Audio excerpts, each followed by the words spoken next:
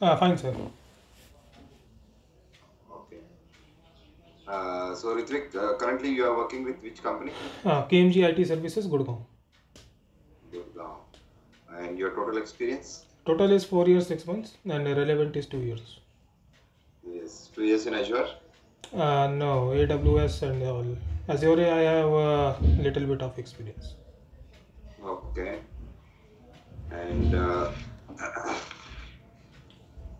so you, you do you have any certification in Azure or uh, I mean AWS? Uh, right now, I am preparing for it. Uh, earlier, I was a CCNA certified person. Okay.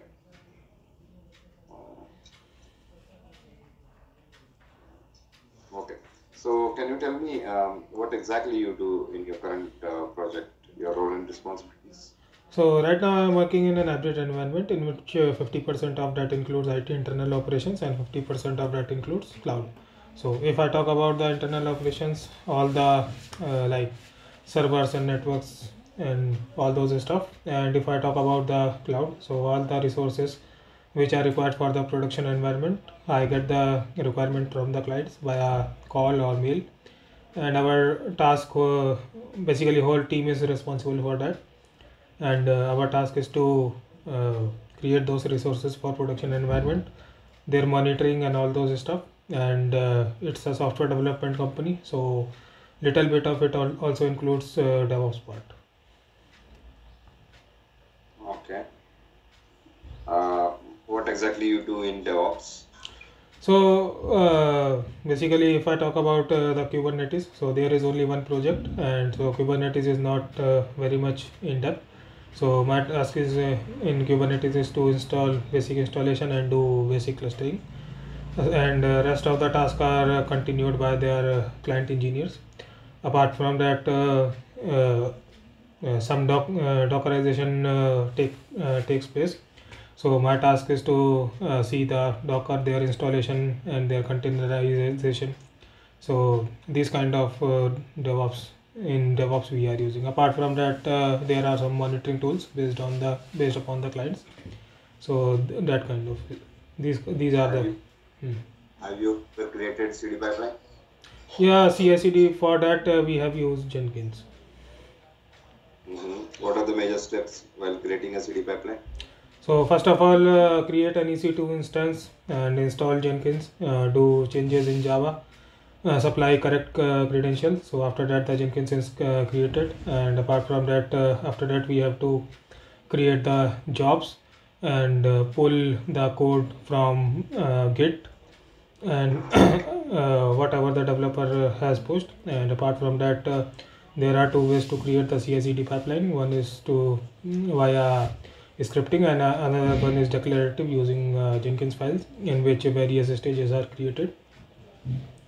And uh, if we want to uh, create, uh, start and stop a pipeline uh, uh, like in an automated manner, so we will use the build triggers or cron tabs.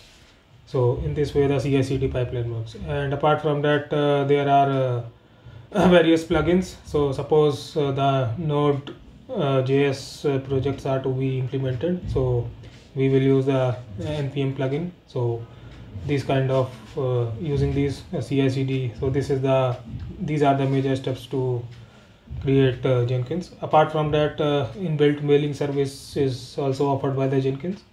And if we want to give the user level access, uh, so we can give the uh, restricted privileges to users and create users. Okay. And uh, uh, how how to create a VM image? VM image in uh, yes. So VM image is created in uh, Azure, and Yeah. EC2 are created in AWS.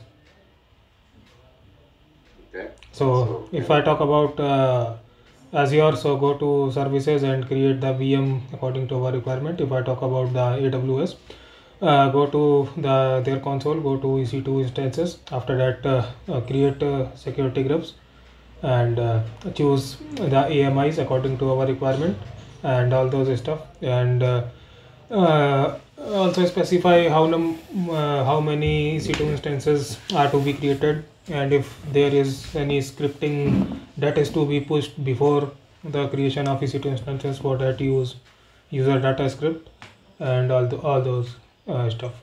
And apart from that uh, uh, inbuilt active directory is also there in cloud. So that gives uh, initially that option is given also that we want to join the particular ec2 instance to a particular domain so there are various types of Okay, okay. Uh, which operating system you are familiar with? so i am familiar with uh, linux and windows and little bit of mac so mac has been recently introduced in uh, aws Okay. Which are all the commands you are using in Linux? All the general commands uh, uh, which are to be used to uh, manage the server so Like? like means uh, so I, if I give you the scenario so suppose if I want to install uh, any uh, software say Splunk right Mhm. so we will go to their documentation wget and after that uh, get the link right install that and uh, up, uh, first of all update the packages after that ls ltr it will show whether that package is present or not and then continue with all over all the all that stuff and in linux basically all majority of the changes are done using the configurations file so those can be found out in vendors uh, documentation Okay. What is PaaS? Yeah, Pa- PaaS is a platform as a service. So suppose uh, like uh, if I talk about uh, a laptop, so the Windows is uh, SaaS and the laptop is platform as a service.